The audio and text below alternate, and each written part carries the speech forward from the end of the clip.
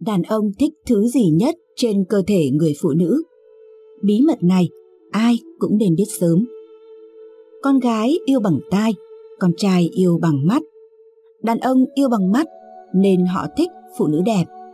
Tuy nhiên, bản tính đàn ông vốn tham lam nên nếu được hỏi, anh ta có thể kể ra 100 điều mà người con gái của anh ta nên có. Nhưng như vậy thì quá khó để tìm ra được một người hoàn hảo như thế. Bạn biết đấy, đàn ông tuy đơn giản như là một cậu bé to xác, nhưng thật ra cũng không qua loa mà chọn lựa thích bừa. Vậy nên đôi khi chị em phụ nữ chỉ cần phát huy một vài điểm thôi cũng đủ làm cho họ mê say đắm, không dứt ra được rồi. Vậy rốt cục thì đàn ông thích gì ở phụ nữ? Đây là một câu hỏi khá thú vị mà nhiều người phụ nữ chúng tôi muốn hỏi cánh đàn ông. Và tôi thử hỏi vài người bạn quanh mình, kể cả những người mới gặp lần đầu để cho khách quan. Tuy nhiên, có những câu trả lời tôi có thể đoán được, nhưng cũng có những điều làm tôi thật sự bất ngờ. Thứ nhất, đôi môi đầy đạn. Nụ hôn là biểu hiện sự bắt đầu của một tình yêu. Đàn ông rất thích hôn bạn gái mình, vì vậy họ rất hay chú ý đến đôi môi của phụ nữ. Bạn đừng nghĩ đây là một điều xấu, vì đôi môi gợi cảm sẽ tạo cảm giác hưng phấn cho họ hơn. Theo đàn ông, một phụ nữ đẹp là phải có đôi môi dày mỏng, gợi cảm. Ai chẳng muốn thưởng thức hương vị ngọt ngào trên đôi môi ấy. Đôi môi của bạn không cần phải đẹp và gợi cảm như các minh tinh, vì đối với chàng, nhiệm vụ chính của môi là hôn. Chúng là phương tiện để chàng trao cho bạn những nụ hôn ngọt ngào trong những màn dạo đầu đầy mê hoặc và là yếu tố mang lại những cảm xúc thú vị khi bạn dùng chúng để mơn trớn các điểm nóng trên cơ thể chàng. Đối với chàng, chỉ cần vậy là đủ để có những cuộc yêu hoàn hảo. Thứ hai, mông. Khi nhìn vào một người phụ nữ có vòng ba to hơn, căng tròn, cánh đàn ông sẽ bị mê hoặc. Đặc biệt, phụ nữ mông to thường sẽ có eo nhỏ và cơ thể thường có hình chữ S. Bất kể nam giới nào đều thích điều này. Họ mong muốn được ôm, tiếp xúc với body đó đặc biệt là phần mông to và tròn. Phụ nữ mông to thường dễ sinh đẻ. Chính vì vậy, không ít người thích phụ nữ mông to vì lý do này. Họ mong muốn người vợ của mình có thể sinh được nhiều đứa trẻ kháu khỉnh, mập mạp và đáng yêu. Đây là những người vợ tốt, những phụ nữ này sẽ làm tròn nghĩa vụ làm mẹ một cách dễ dàng. Thứ ba, tóc. Hầu hết đàn ông thích phụ nữ tóc đen hơn tóc vàng Lý do là đàn ông chọn phụ nữ tóc đen bởi họ tin rằng đó là những người phụ nữ của gia đình. Một người nội trợ đảm đang biết cách chăm sóc cho những người thân và bài trí nhà cửa. Hầu hết đàn ông chọn vợ có màu tóc đen cho rằng những phụ nữ sở hữu màu tóc y này sâu sắc, điềm đạm, bốc lửa hơn trong phòng ngủ và kiếm tiền tốt hơn. Đàn ông rõ ràng có cách đánh giá khá kỳ quặc qua màu sắc của mái tóc nhưng rõ ràng việc phát triển các loại thuốc nhuộm tóc sẽ khiến họ cực kỳ khó khăn để tìm hiểu màu tóc nguyên thủy của người phụ nữ mà mình dự định chọn làm vợ. Nam giới thích phụ nữ tóc dài vì để có một mái tóc chắc khỏe, hẳn cô gái phải dành nhiều thời gian, tiền bạc và thói quen chăm sóc tóc mỗi ngày. Những chi tiết này ngụ ý rằng nàng có tình trạng tài chính tốt, biết tôn trọng bản thân và quan tâm đến hình ảnh của mình – trong mắt mọi người. Những đặc điểm này là cần thiết đối với tiêu chuẩn chọn bạn đời của nam giới. Thứ tư, đàn ông thích phụ nữ có vẻ ngoài xinh đẹp và tươi mới.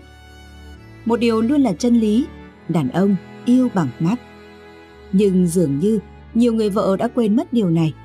Sau khi lấy chồng, ngoài công việc gia đình bận bịu, người vợ thường có tư tưởng rằng đã là vợ chồng thì không cần chăm chút vẻ ngoài nữa Do đó, nhiều người không còn dành nhiều thời gian chăm sóc bản thân, làm đẹp, khiến chồng không còn nhận ra vẻ đẹp của vợ mình trước đây. Thêm vào đó, những lo toan của gia đình, những lần sinh con, chăm con đã khiến các chị em mất đi vẻ đẹp thời thanh xuân. Khiến phần nào đó các ông cảm nhận được sự thay đổi của vợ mình. Và đến lúc này, một cô gái trẻ trung, xinh đẹp và mới lạ đến tiếp cận.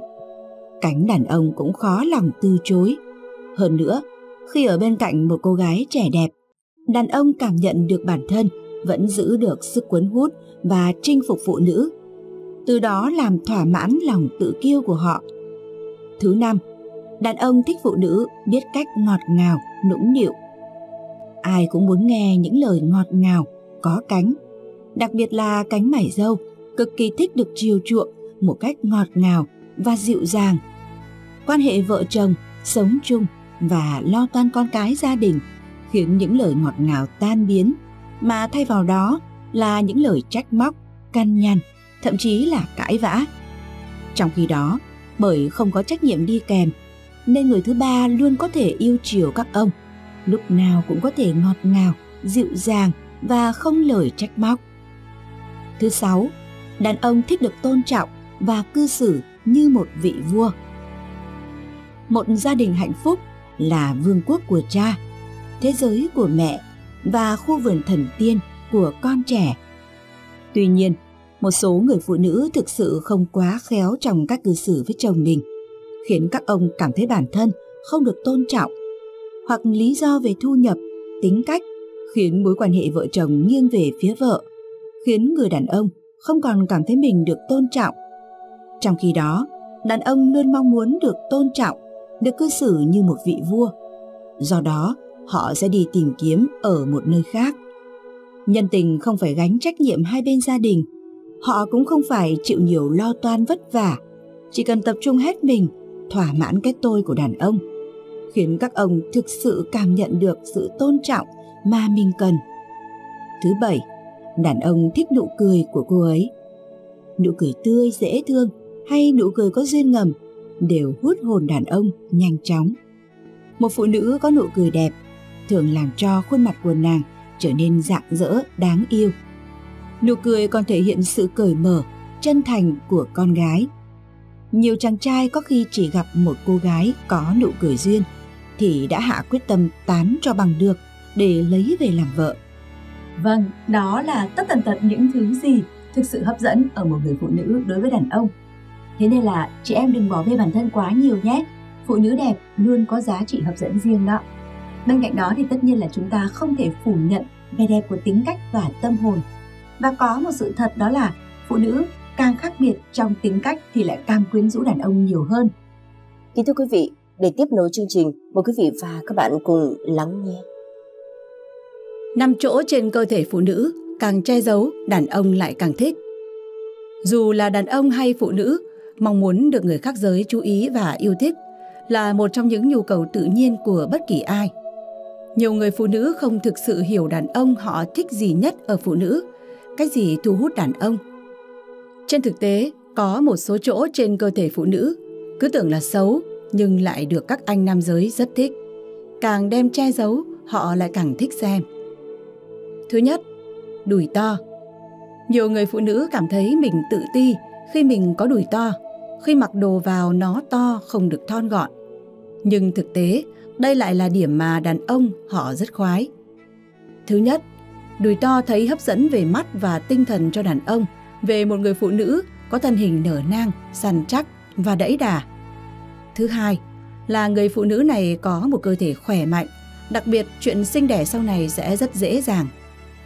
Phụ nữ hoàn toàn có thể mặc váy ngắn để tự hào về cơ thể mình mà không phải lo lắng về suy nghĩ của đàn ông nữa nhé. Thứ hai, ngực trung bình Phụ nữ thường nghĩ đàn ông thích ngực to, nhưng thực sự không phải như vậy. Đàn ông họ thích một người phụ nữ ngực vừa phải, không to, không bé. Điều quan trọng là nó là một bộ ngực tự nhiên, không bơm độn và săn chắc thì càng thích. Phụ nữ mà có ngực to nhưng mềm nhẽo, lòng lẻo thì đàn ông cũng không thích. Vì đơn giản, họ biết rằng nay mai nó sẽ bị chảy xệ và cơ thể mềm như thế thì thường là một người yếu ớt Thứ ba, đôi vai gầy lộ xương quai xanh. Ngoài vòng 1, đôi xương quai xanh gợi vẻ đẹp mong manh, đầy nữ tính của phái nữ, khiến người hâm mộ hết lòng thương nhớ. Trên thực tế, xương quai xanh còn gọi là xương đòn, là một trong những xương của thành ngực trước. Nó là một xương dẹt cong hình chữ S, một đầu xương tiếp xúc với xương ức, đầu còn lại tiếp giáp với xương bả vai. Theo một cuộc khảo sát thì vùng xương này được đánh giá là điểm hấp dẫn nhất trên cơ thể người phụ nữ. Ngày nay, với tiêu chuẩn thể hình quai xương, gợi cảm, được thử thách bằng cách đặt số lượng đồng xu vào hõm xương. Càng đặt được nhiều thì phần xương quai xanh càng đạt chuẩn đẹp. Thứ tư, cằm trẻ. Rất nhiều cô gái có cằm trẻ nhưng đã phẫu thuật thẩm mỹ để bỏ mà họ không biết rằng cằm trẻ chính là biểu tượng cho sự phú quý của phái nữ. Về mặt nhân tướng học, cằm giống như kho của cải của người phụ nữ, càng dày thì càng có nhiều tiền tài. Nó không chỉ đem lại may mắn cho bản thân, mà còn giúp cho sự nghiệp của chồng. Những người con gái có tướng mạo như vậy thì sẽ luôn có tài vận tốt. Ngoài ra, người phụ nữ nào sở hữu cằm trẻ thì chắc chắn sẽ trông quyến rũ và gợi cảm. Thứ năm, đôi môi đầy đặn. Bờ môi luôn được liệt vào danh sách những điều khiến nam giới mê mệt trên cơ thể người phụ nữ. Một cách dễ hiểu, đàn ông luôn chú tâm đến một số bộ phận trên cơ thể người phụ nữ, dù là lần đầu gặp mặt và đương nhiên không thể bỏ qua đôi môi. Không thể phủ nhận rằng một đôi môi gợi cảm sẽ khiến người phụ nữ trở nên xinh đẹp và hấp dẫn hơn rất nhiều trong mắt người đàn ông. Đối với phần đông nam giới, họ cho biết rằng mình bị thu hút bởi những cô nàng sở hữu đôi môi đầy đặn, gợi cảm. Chỉ cần cô ấy thoa một chút son thì mọi thứ đều trở nên tuyệt vời. Đàn ông yêu bằng mắt nên họ dễ dàng bị thu hút bởi những cô gái đẹp. Thế nhưng, để chọn người lấy làm vợ thì không phải là đàn ông nào cũng có phúc khi chọn được những cô gái thuộc 6 mẫu phụ nữ lý tưởng sau đây. Bởi người vợ có thể không cần quá xinh đẹp về mặt ngoại hình, nhưng có những đặc điểm tính cách này thì cô ấy luôn mang lại niềm vui và hạnh phúc cho chồng và gia đình chồng. Mời các bạn cùng lắng nghe. 6 mẫu phụ nữ đàn ông có phúc mới lấy được làm vợ. Phụ nữ có nhiều kiểu người khác nhau, nhưng để lập gia đình, làm gia đình chồng được hạnh phúc, vui vẻ thì chỉ có 6 mẫu người phụ nữ này làm tốt. Đàn ông nào may mắn chọn được mẫu người phụ nữ dưới đây thì có phúc lắm. Thứ nhất, phụ nữ lương thiện, có một trái tim biết rung động. Người phụ nữ có tâm hồn lương thiện luôn có nhân cách cao thượng. Họ luôn được người khác nể phục vì những hành động giúp đỡ người khác không mang đến bản thân. Họ luôn đề cao nhân cách của mình thay vì bán rẻ nó. Họ không làm chuyện thẹn với lòng nên cũng không sợ những rắc rối không mời mà đến. Họ không kết ân oán với người khác, sống tốt một đời bình an.